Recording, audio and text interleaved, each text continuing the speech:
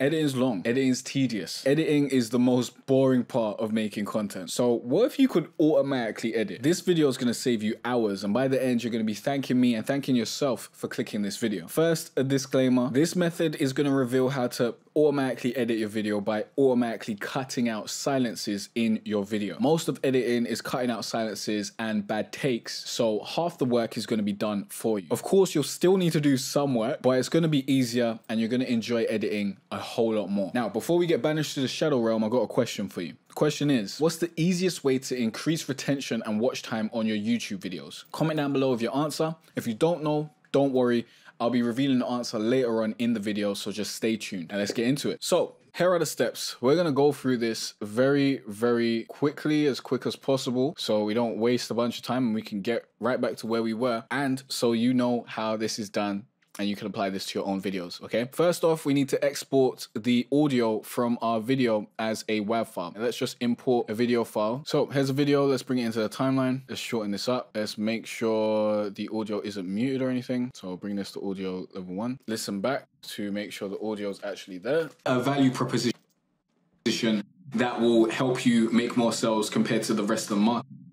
So you see that silence? That's something that should be automatic. Well, let me keep my headphones on because we're going to need it. That should be something that's going to get automatically cut out. So let's go to file, then we'll go to export, go to media. At this point, we just want a waveform audio.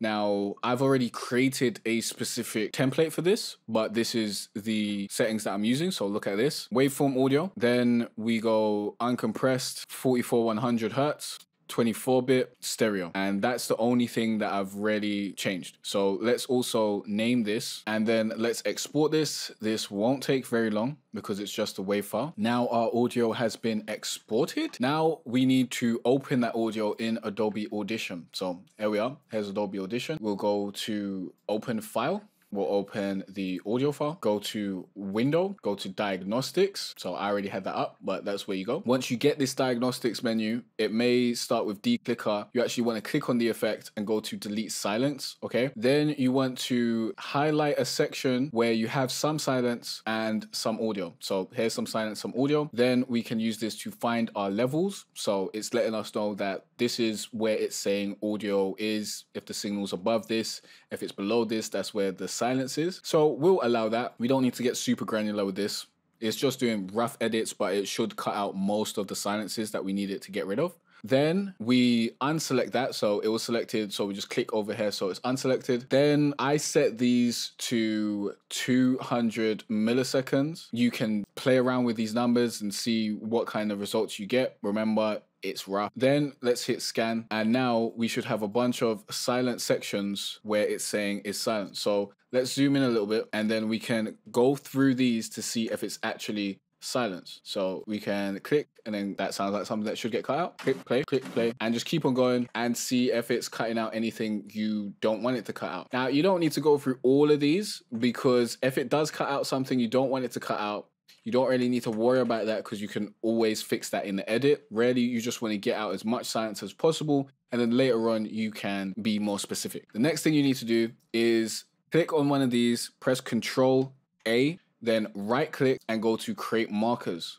Then you want to click over here, go to markers. You want to click these, click one of the markers, press Control A, press right click, change marker types to subclip. Then before you export, make sure that your first marker hits at 0000. Otherwise, you're gonna have sync issues. So make sure you go to the start 0000. Okay. Now you can save this, go to media encoder, add that WAV file to media encoder. So we can just drag it in, select QuickTime, select Apple ProRes 422 as 422 proxy as the preset, then go to the audio, make sure it's the same audio as before, 44100 sample size, 24 oh, sample rate, 24-bit sample size, stereo, and then click OK. Then we'll press play, which will just export this very, very quickly. You don't actually need a high quality movie file or anything like that. The reason why you want it to be a video file is so that the next steps would work. So don't worry about that. Just use the smallest easiest file that you can get. Quickly gotta interrupt the content for this important message. If you haven't got Adobe Premiere Pro or Audition yet, use the links down below in the description to sign up for Creative Cloud or go to jaycartere.com forward slash creative cloud. It helps out the channel and all you gotta do is click. This video is going to change your life, so it's not a big price to pay, right? Thanks for your support. Let's get back to the video. I do suggest that you create a new folder as this can get messy. If you don't, then go into this folder. I've named it subclips. Right click, go to import. If you try to drag this in, you may create an issue where you don't drag in your sub clips as well.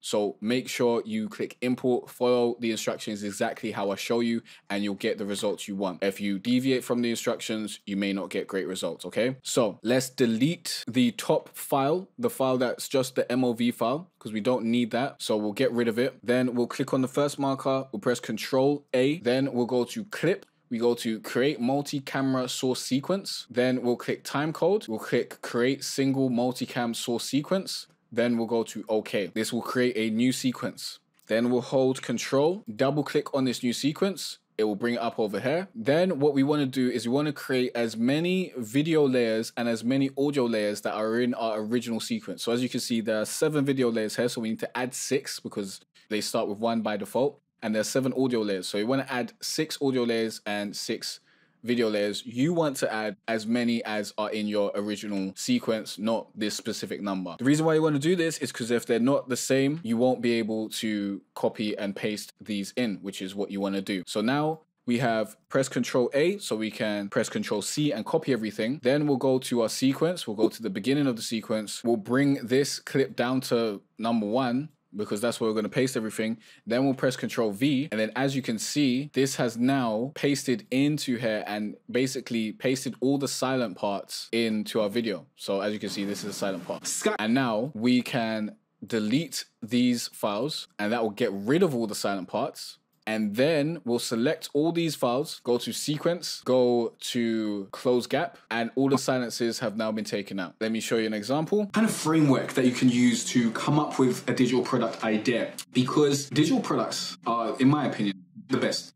As you just saw, it created edits that we didn't have to do ourselves. Beautiful times. By the way, if the close gap doesn't work, the reason that's not working is because you have other layers happening above your main layer that stops it from being able to close the gap because it records everything that's going on as part of your sequence. So you need to move everything out of the way. That's why you see everything all the way over here. It's out the way so that your video clips are the only thing that's being tracked by that close gap feature. So that's how that works, and that may be a reason why your close gap isn't working if it's not working. By the way, if you haven't got Adobe Premiere Pro or all these Adobe things, there's a link down below. Grab it through that link. It helps out the channel. I'm sure I just helped you out a lot. So help out the channel, innit? Now it's time to answer that question from earlier. What's the easiest way to increase retention and watch time on your YouTube videos? The answer is get into the content as fast as possible. No asking for likes or subscribes, no stingers or intro clips with dubstep music. Get into the content ASAP. Promo your stuff in the middle and end of the video where the most engaged people will be. There's no point trying to do all that promo at the beginning because you'll be saying it to the most fickle viewers who aren't going to listen. They're not going to do what you're asking them to. It makes more sense to wait till the end and ask the real G's like you watching right now. So let's recap. Step number one, export your video audio to WAV. Number two, import that audio into Adobe Audition and detect the silences. Number three, create markers from those silences. Number four, convert those markers into subclips. Number five, export or save that audio as WAV. Number six, import that audio into Adobe Media Encoder and export it as a small video file. Number seven, import that video file and all its subclips into Adobe Premiere Pro. Number eight, delete the main video file and create a multicam sequence from those subclips. Number nine, open the sequence and match the amount of video and audio tracks to that of your main sequence. Number 10, copy and paste those subclips to your main sequence over your main video file. Number 11, delete the subclips and its sequence. Number 12, close the gap between your clips. Number 13, comment down below and thank me for changing your life you're welcome. And if you got any questions or any other tutorials you want me to make, please let me know in the comment section down below. Check out that video over there and I'll see you in the next video where you'll learn more life-changing stuff. Peace out.